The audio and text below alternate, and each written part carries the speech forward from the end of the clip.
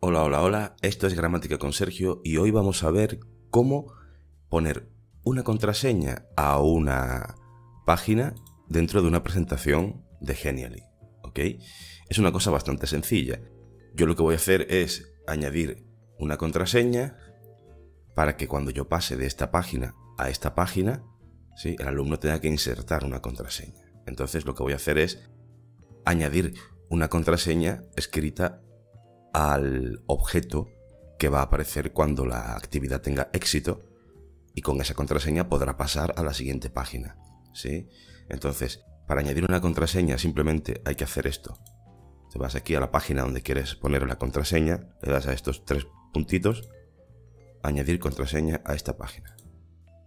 Y aquí vamos a escribir la contraseña, soy un crack, ¿no? Que es la contraseña que hemos puesto. Soy un crack, listo.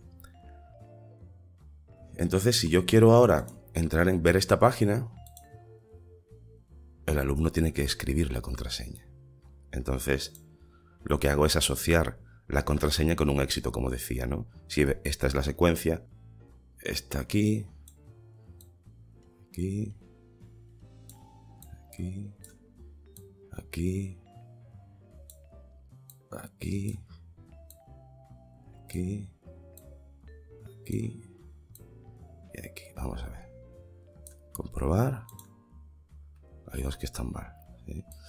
Le encantaba esto. Vamos a ponerlo aquí. Y vamos a poner aquí, esta aquí. Comprobamos. Ok. Ahora sí, ¿no? Soy un crack. Eh, soy un crack, contraseña, soy un crack. Eh, si quieres aprender a hacer este tipo de contenidos, pues eh, el día 30 de este mes empezamos con un curso. Y ahora aquí escribiría soy un crack. Y podría acceder a este siguiente ejercicio, ¿no? ¿Cómo se llama el perro? ¿Ok? Y bueno, pues así. Si te ha gustado este material, pues mm, suscríbete a mi canal y nada, hasta la próxima en Gramática con Sergio.